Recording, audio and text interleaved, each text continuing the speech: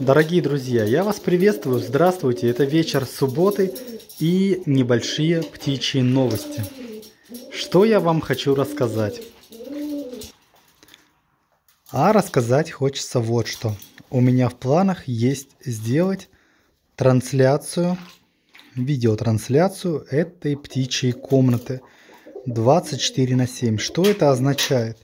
означает это то, что если все получится, я сделаю нужное оборудование и камера будет снимать эту птичью комнату и днем, и ночью. То есть э, съемка не будет превращаться.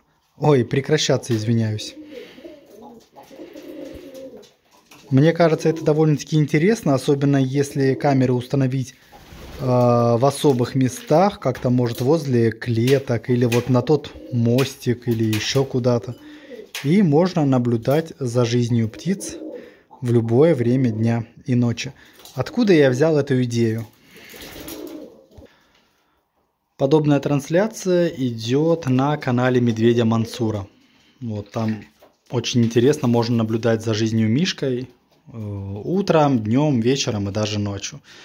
Хочется поп- попробовать реализовать то же самое, но я не буду забегать вперед, просто для этого нужен очень хороший интернет, для этого нужно закупиться IP-камерами, ну, и еще продумать некоторые технические нюансы. Поэтому это пока просто мои э, мысли. Вот. Если получится это довести до ума, я буду очень рад. Ну, улетел.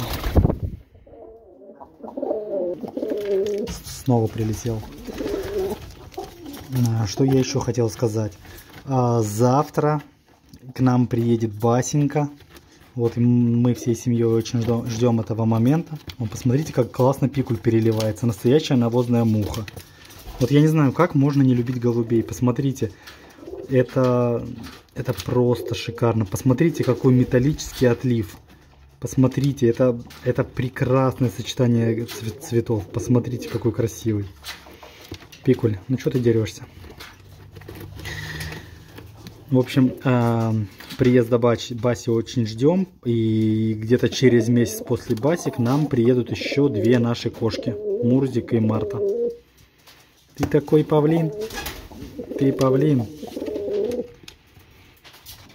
А ты баты шли голубята. Ну сколько вас много, ребятки. Так, еще есть новость по поводу нашего голубя Бабайки. Сейчас я приближу, подойду к нему. Вот он наш бабайка. Это голубь, которого осенью прошлого года моя супруга нашла. И мы вместе принесли его домой. Он пролечен. Хват. Вот спрашивали, дерутся ли у меня э, галки и голуби. Ну, вот такие потасовки у них бывают. Но они ничего друг другу не делают, разве что вот так крыльями машут э, друг перед другом. А так вообще я не устану говорить, э, именно галки это врановые птицы, которые больше всего подходят для совместного содержания с голубями. Ну, не в одной клетке, понятное дело, а в одной комнате. А если у вас серая ворона, грач, сорока, тем более ворон, это очень опасно. Не советую таких птиц э, без присмотра оставлять с голубями. Вернемся к бабайке. Бабайка весной этого года уходит, улетает от нас на волю. Он пролечен, он абсолютно здоров.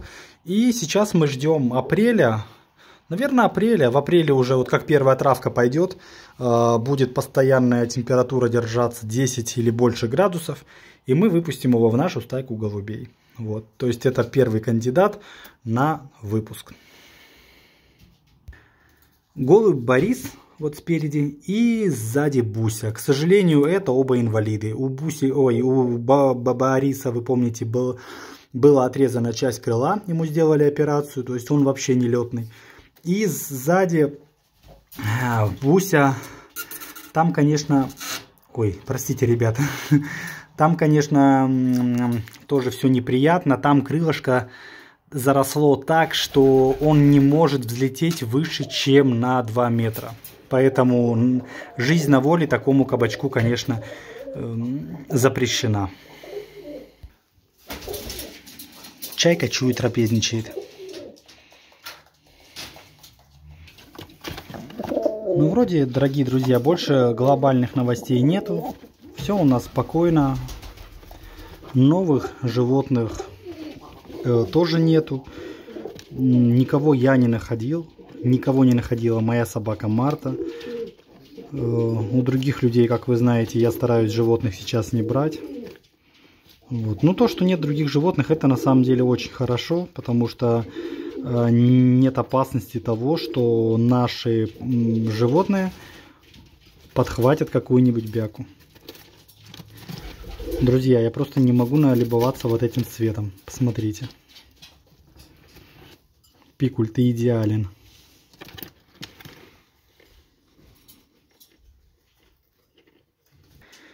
Ну что, друзья, вот такие вот э, новости из нашей птичьей комнаты. Потихоньку ждем весны, потепления, э, чтобы можно было долго гулять с собакой Мартой, уходить в, в походы, купаться в озере. Да, Марта, ждем? Хозяин, конечно, ждем. И, конечно, ждем весны, чтобы можно было открывать вот этот вот замечательный кошачий балкончик, и кошки могли э, выходить на улицу. Это прекрасная возможность, потому что сейчас еще слишком уж холодно. Рыжий пес, конечно, может сюда выйти, но остальным кошкам будет очень холодно.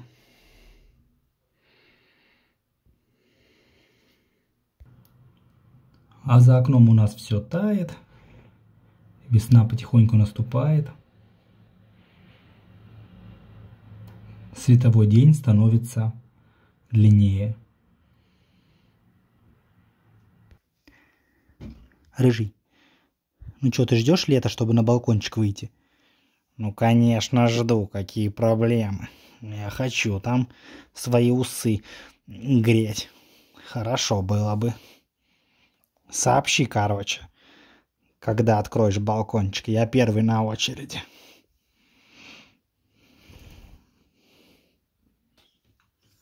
Ну, в общем, друзья, вот такие вот у нас новости. Спасибо большое, что смотрите нас. Спасибо большое за вашу поддержку. Спасибо огромное, что даете вкусняшки на Э, ой, копеечку на корм нашим вкусняшкам. Они, нам, они вам очень-очень-очень сильно благодарен. Благодарен, благодарны. Вот, смотрите, какие все жирные, здоровые, счастливые, э, блестящие. Я не знаю, как сказать. Марта, я, у меня такая мощная вспышка, что мне кажется, я тебе все утр... это, внутренние органы подсвещу. Вот, все, спасибо, друзья. Давайте, ждем появления Баси. Ну, а о других новостях я вам рассказал. Все, давайте. Эй, гулять пойдем? Конечно, пойдем. Прямо сейчас одевайся. Ты тут уже заснимался, а я все жду. Знаешь как? Тяжело, я писать хочу. Пошли гулять, хозяин.